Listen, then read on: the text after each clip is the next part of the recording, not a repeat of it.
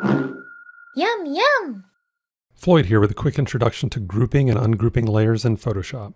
To group layers, simply select the layers you'd like to group, then click the New Group button in the Layers panel, or use the keyboard shortcut Ctrl G. This will place all the selected layers into a group represented by a folder icon, which can help clear up clutter in your Layers panel. To ungroup, use the keyboard shortcut Ctrl Shift G. This will move all the layers outside the group and remove the group itself. Oh, look at the time.